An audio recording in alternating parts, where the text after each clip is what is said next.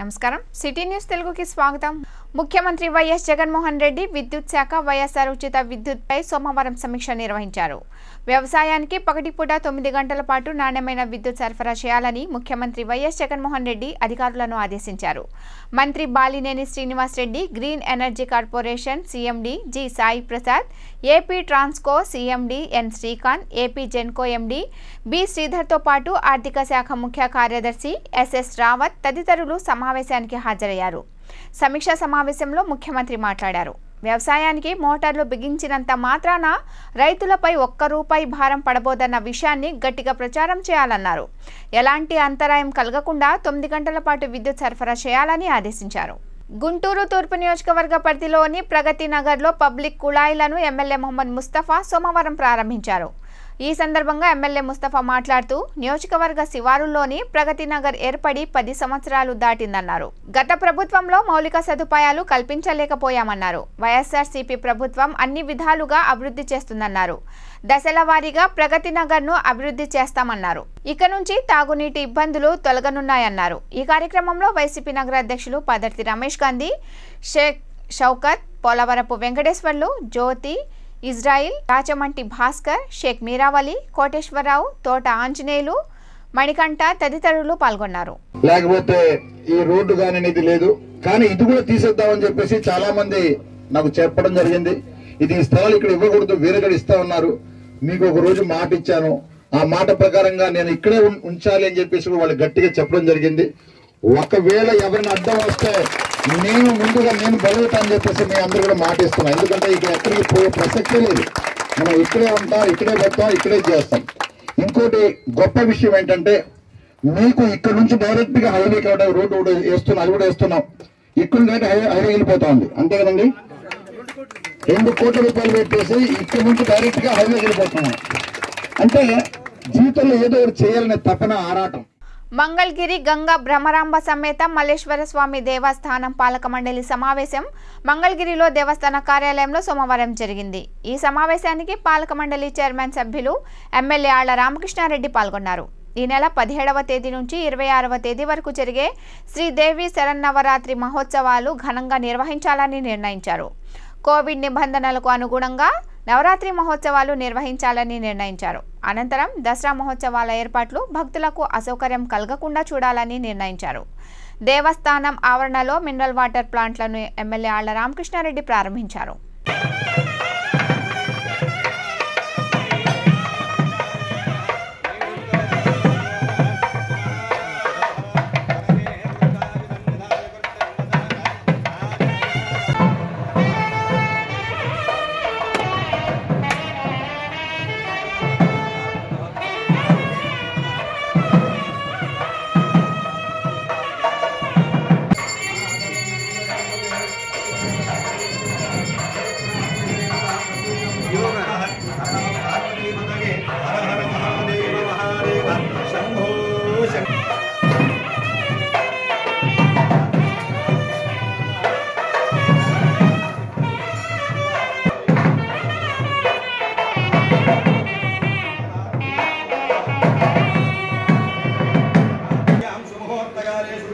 సూర్యాదీనాం నవానాం అత్యంత ఆనుకూల్యతావ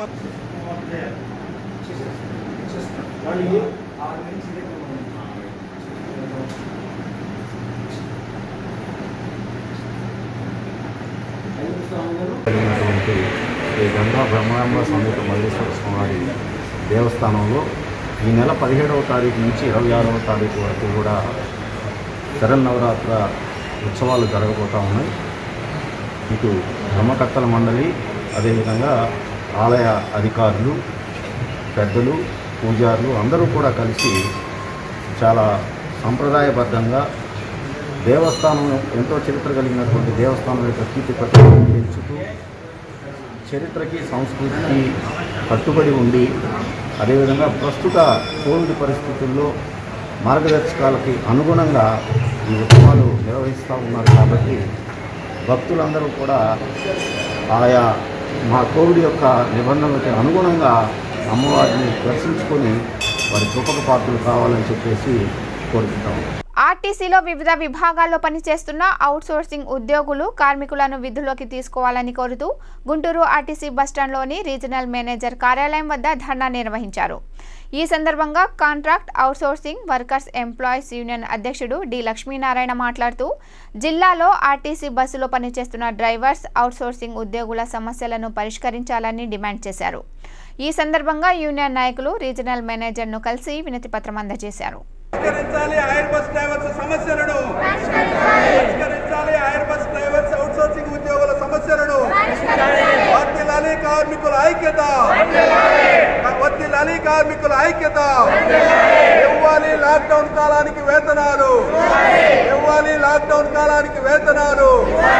కార్మిక వర్గానికి వ్యతిరేకంగా ఉన్న అవుట్సోర్సింగ్లో ఉన్న నిబంధనలు తొలగించాలి వేతనాలు వర్తిల్లాలి కార్మికుల ఐక్యత వర్తిల్లాలి కార్మికుల ఐక్యత లాక్డౌన్ కాలానికి వేతనాలు లాక్డౌన్ కాలానికి వేతనాలు ఆర్టీసీలో పనిచేస్తున్న డిపార్ట్మెంట్ అన్ని డిపార్ట్మెంట్లో పనిచేస్తున్న అవుట్సోర్సింగ్ ఉద్యోగులు అట్లాగే హైర్ బస్ డ్రైవర్లు కూడా ఈ కేంద్ర రాష్ట్ర ప్రభుత్వాలు రెండు దానివల్ల కార్మికులందరూ సఫర్ అవుతున్నారు కుటుంబాలను ఇబ్బందులు పడుతున్నాయి. పోయిన నెలలో తొమ్మిదో నెలలో కూడా ఆర్ఎం గారికి ఒక రిప్రజెంటేషన్ ఇచ్చాం అవుట్సోర్సింగ్ ఎంప్లాయీకి వచ్చి.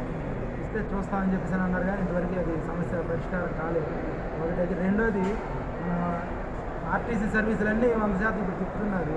అందువల్ల అవుట్సోర్సింగ్ ఉద్యోగులకి కార్మికులందరూ కూడా విధుల్లోకి కొనసాగించాలని చెప్పేసి మూడోది హైర్ బస్ డ్రైవర్లకు సంబంధించి సమస్య పరిష్కారం చేసి వాళ్ళకి యజమానులతో చర్చలు జరిపి వెంటనే వాళ్ళని కూడా విధుల్లో కొనసాగించాలనేది దీన్ని ఈ ప్రభుత్వం దృష్టికి తీసుకెళ్ళాలని. ఈ అవుట్సోర్సింగ్ ఉద్యోగులు ఎవరైతే ఉన్నారో వీళ్ళందరినీ కూడా అవుట్సోర్సింగ్ కార్పొరేషన్లో చేర్చాలనే డిమాండ్స్ తోటి ఈరోజు మన జిల్లాలో ఉన్న ధర్నా జరిపాం సార్. దానికి సంబంధించిన రిప్రజెంటేషన్ తీసుకెళ్ళి గారికి ఇస్తాను.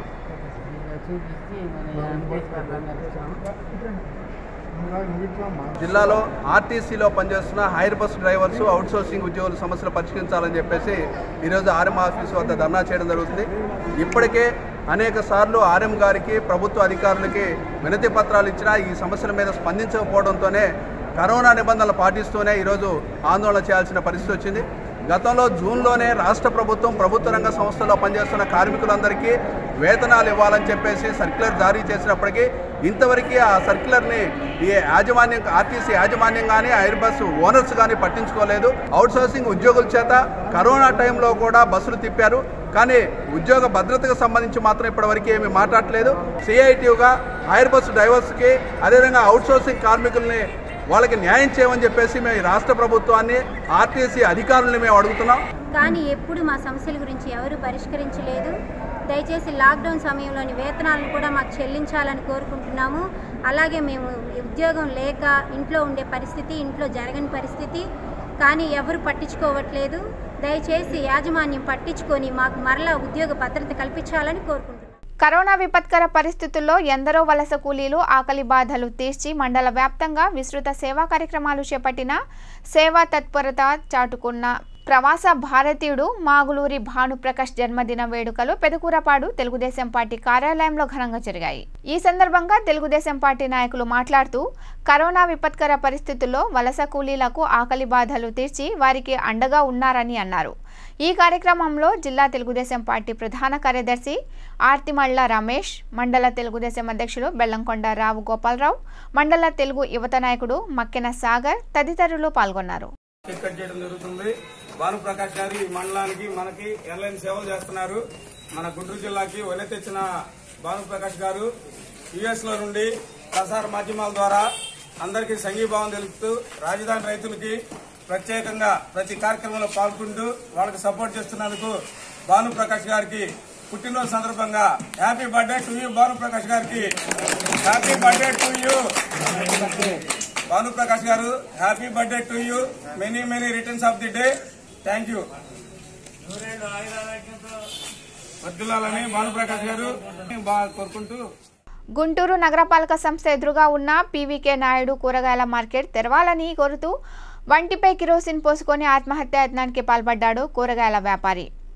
బిల్డ్ ఏపీ పథకం నుంచి మార్కెట్ స్థలాన్ని మినహాయించిన వ్యాపారులకు అనుమతి ఇవ్వటం లేదంటూ కూరగాయల వ్యాపారులు సోమవారం ఉదయం నగరపాలక సంస్థ కార్యాలయం ఎదుట ఆందోళన చేపట్టారు.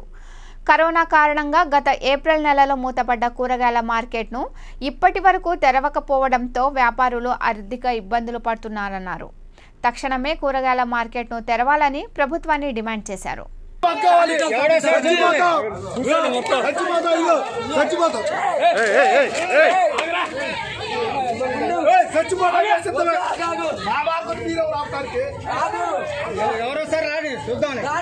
ఎంతమంది వచ్చినా మేము అసలు వెళ్ళాలి కాడే పరిస్థితి లేదు. మా కడుపు కొత్త మీకు అర్థం కాదు. మీ ప్రజలకు అర్థం కాదు. మా కడుపు కొత్త మీకు అర్థం కావట్లేదు.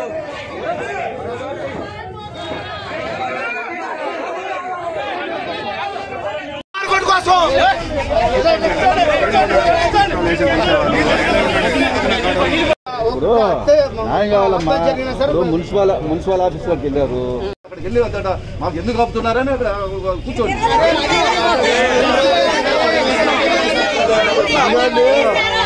నా నియోజకవర్గంలో ఇసుక అక్రమ రవాణా జరుగుతుందంటూ చంద్రబాబు కేసులు వేస్తున్నారని దళితుడైన నాపై అదే దళితులతో హైకోర్టులో కేసు వేయించడం విచారణ కోరడం జరిగిందంటూ ఎమ్మెల్యే మేరుగా నాగార్జున ఆవేదన వ్యక్తం చేశారు. భట్టిప్రోలు మండలం ఓలేరులో అక్రమ మైనింగ్ విషయమై తనపై జరుగుతున్న ప్రచారం గురించి పూర్తి స్థాయిలో దర్యాప్తు చేయాలని కోరుతూ జిల్లా కలెక్టర్ శ్యాముల్ ఆనంద్ కుమార్ను కలిసి వినతి పత్రాన్ని అందజేశానని ప్రభుత్వానికి లేఖ రాశానని మేరుగా నాగార్జున తెలిపారు. ఆది ఆంధ్ర సొసైటీలో భూములలో అసలు మైనింగ్ జరిగిందా? జరిగితే ఎవరు చేశారు? ఇసుకను ఎక్కడికి తరలించారు? తేల్చాలని కలెక్టర్ను కోరినట్లు మేరుగా నాగార్జున మీడియాకు తెలిపారు. ఓలేరు గ్రామంలో ఆది ఆంధ్ర కోఆపరేటివ్ టెరెంట్ సొసైటీ వారి భూమిలో అన్యాక్రాంతంగా ఇసుక తవ్వుతూ ఉన్నారని దానికి సంబంధించి ఎమ్మెల్యేకి మాజీ ఎమ్మెల్యే దేవినేని మల్లికార్జునకి సంబంధం కూడా ఉందని కోర్టులో వేయటం దాని మీద హైకోర్టు వారు ఎంక్వైరీ చేసి నోటీసులు జారీ చేయమని చెప్పారని చెప్పేసి పత్రికల్లోనూ టీవీలో చూశాము దానికి సంబంధించి శాసనసభ్యుడిగా నేను కలెక్టర్ గారికి ఒక ఓపెన్ లెటర్ కూడా ఇవాళ ఇవ్వటం జరిగింది. ఓలేరులో సొసైటీలో ఓలేరుకు సంబంధించి గ్రామంలో ఎక్కడ ఏ సర్వే నెంబర్లో ఇసుక తవ్వుతూ ఉన్నారు? ఎవరు పర్మిషన్ ఇచ్చారు? ఎంత తవ్వారు? ఆ తవ్విన ఇసుక ఎక్కడికి వెళ్ళింది? ఏ కంపెనీస్కి సంబంధించారు? పూర్తిగా మా ఇన్వాల్వ్మెంట్ ఏంటి? అన్నీ ఎంక్వైరీ చేసి తక్షణమే రిపోర్ట్ సబ్మిట్ చేయండి. దీన్ని ప్రత్యేకంగా రాష్ట్ర ప్రభుత్వానికి కూడా నేను ఉత్తరం రాయ రాస్తా ఉన్నా. సంబంధం ఎవరు ఇన్వాల్వ్ అయితే వాళ్ళ మీద యాక్షన్ తీసుకోండి. ఇన్ కేస్ మేము ఇన్వాల్వ్ అయితే రాజకీయంగా కూడా ఇక ఎక్కడ రాజకీయాల్లో ఉండే ప్రసక్తే లేదని తెలియపరుస్తున్నా. ఒక రేణువుతో సంబంధం ఉన్నాయి ఎందుకంటే నేను దళిత పక్షపాతిని. దళితుల కోసం నిరంతరం పనిచేస్తా ఉన్నా. గౌరవ ముఖ్యమంత్రి గారి ఆదేశం మీద పనిచేస్తా ఉన్నా. చిన్న మిస్టేక్ చేసి పైగా దళితుల భూముల్లో ఇసుక తవ్వుతా ఉన్నారంటే ఎంతకన్నా చాలా నేను చాలా బాధపడతా ఉన్నా. తక్షణమే ఎక్కడ డీలేట్ అవ్వకుండా ఎంక్వైరీ చేయాలా? ఎంక్వైరీ చేసి రిపోర్టు ప్రజలందరికీ తెలియపరిచే విధంగా చేయమని చెప్పేసి కలెక్టర్ గారికి కూడా ఉత్తర్వు ఇవ్వడం జరిగింది. ఇప్పుడు వార్తలో చిన్న విరామం.